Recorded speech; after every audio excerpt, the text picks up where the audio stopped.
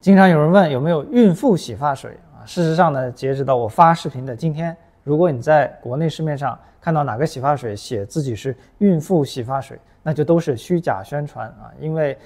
按照我们现行的化妆品法规啊，像孕妇适用的洗发水啊，或者哺乳期适用的洗发水，这都属于特殊化妆品，要办特证。可是现在国内呢，还尚未出台针对孕妇洗发水的技术要求，也就是说，你想办这个特证呢，现在还不知道该怎么去弄。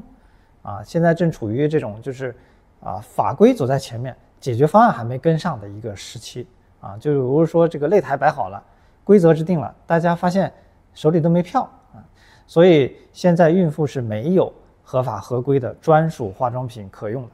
那现在宣传孕妇适用的就都是虚假宣传啊，所以你会看到呢一些这种呃正规的守法的专门做这种孕妈市场的这种品牌呢。啊，它这个产品啊，明明孕妇是能用的，可是他又不敢讲，啊，讲出来又怕违规啊，所以呢，这个品牌跟顾客之间呢，啊，只能采用加密通话啊，于是就出现了一些诸如什么准孕妇洗发水啊，妈妈全周期洗发水啊这种很想讲又不敢讲的便秘词汇啊。更有趣的是呢，啊，其实他通过便秘词汇已经在向你暗示了孕妇是可以用的。可是，如果你要是多一嘴去问这个客服，他只能告诉你说不能用啊，一否则他就上套了。所以现在的孕妇化妆品市场就是处于一边在快速增长啊，一边在暗度陈仓啊这么一种微妙的状态中。所以弄得这些守规矩又想卖货的品牌啊，可以说是比孕妇还难受。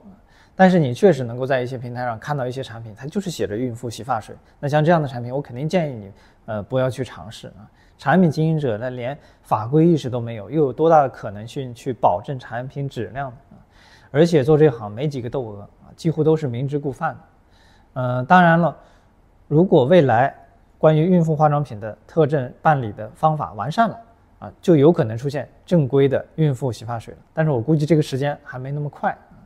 呃，但是话说回来呢，啊，咱们孕妇又不可能不用洗发水，那孕妇选择洗发水有哪些注意事项呢？